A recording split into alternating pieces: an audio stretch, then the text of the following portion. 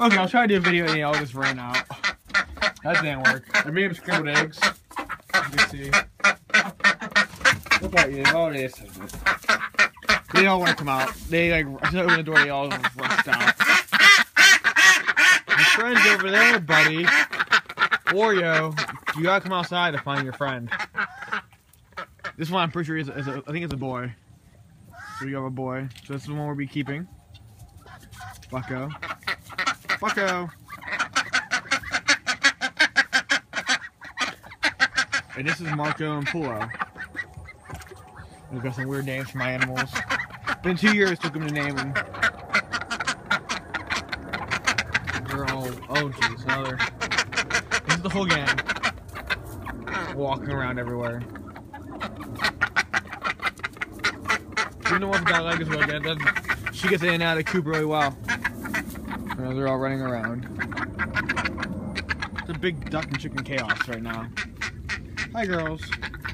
At least these ones are calm. Okay.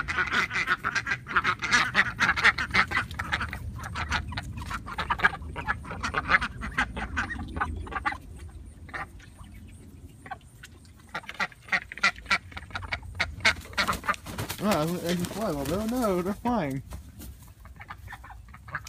Actually, they're pretty good at flying now. They're all fully feathered. We got a wild crew here. So looks like they're all staying. I think they're all gonna be girls. I'm not sure if one of these might be girls. They might be guys. But I'm pretty sure Bucko is a guy. From the way it sounds already. The tail's already starting to flip up a little bit. So yeah, we got lucky. Because a guy name. Oreo's kind of could be a male or female name. It's a big, it's a big duck too. But the whole crew's doing good, so I hope you guys enjoy this update. Thank you guys for watching. They're not even eating the eggs I brought them. I made them. Thanks, guys. You gotta be careful where you walk. They're everywhere. So hope you guys enjoy this update. Thank you guys for watching. I'll see you guys next week for our awesome chicken and duck update. What are you guys doing? Out there eating something in there. Hope you guys enjoyed it.